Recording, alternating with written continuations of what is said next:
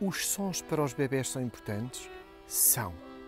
Mas quase tão importante quanto o som para os bebés são os cheiros.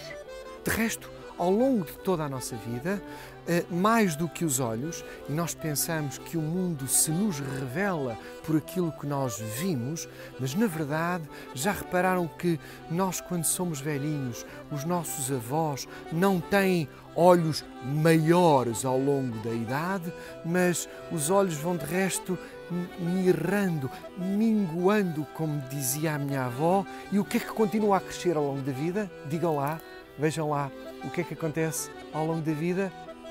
O pavilhão auditivo, as orelhas crescem, mas não cresce só o pavilhão auditivo, crescem também os narizes. É por isso que uh, uh, os nossos avós têm narizes e pavilhões auditivos maiores, é porque o corpo humano sabe que para a sobrevivência da espécie, o que ouvimos e o que cheiramos é vital. Temos falado muito sobre o que ouvimos, mas importa falar sobre o que cheiramos porque, na verdade, a espécie humana perpetua-se eh, porque nos escolhemos uns aos outros pelos cheiros que nos dizem da nossa compatibilidade genética para a procriação. E é por isso que toda a indústria da perfumaria é tão importante e nos sentimos tão desconfortáveis ou tão atraídos por alguns aromas. Pois bem, um bebê, quando começa a ouvir a voz da sua mãe, também tem uma referência do cheiro da sua mãe.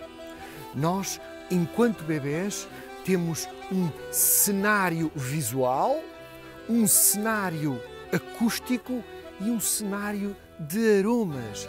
Há todo um palco de aromas que nos vai dizendo eh, onde podemos estar mais confortáveis, mais seguros ou menos seguros.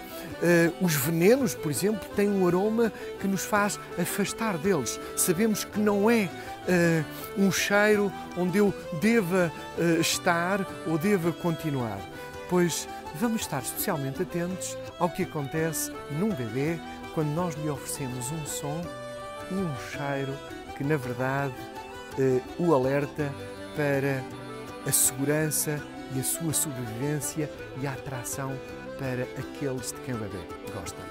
Isto vem a propósito de, destes dias em que os alérgicos, como eu, vivemos um grande dilema. É o prazer de desfrutar destes aromas que perfumam uh, esta quadra, mas ao mesmo tempo ter de tomar antihistamínicos, senão a falta de ar, a falta de dormir e tudo aquilo que acontece à volta de um alérgico é potenciado por estes cheiros tão bons. Ok, vamos lá olhar para os nossos bebês e para aquilo que eles cheiram dos sons que ouvem. Babá.